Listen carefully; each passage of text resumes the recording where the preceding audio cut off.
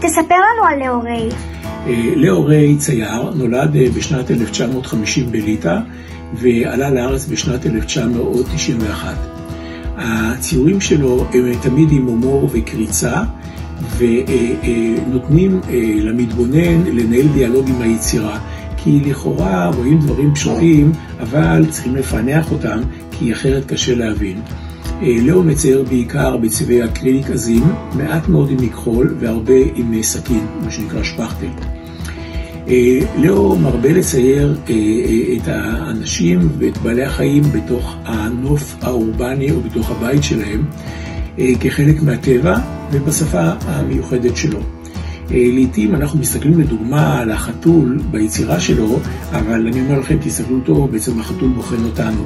יש הומור, יש קריצה, וזה כיף גדול מאוד לראות בין הטקסט של היצירה שלו לבין הצבעוניות. הוא קיים עשרות ארוחות בארץ ובעולם, היצירות שלו נמצאות באוספים רבים, והם אהודים מאוד על הציבור. אז לכו תראו את היצירות שלו, תהנו.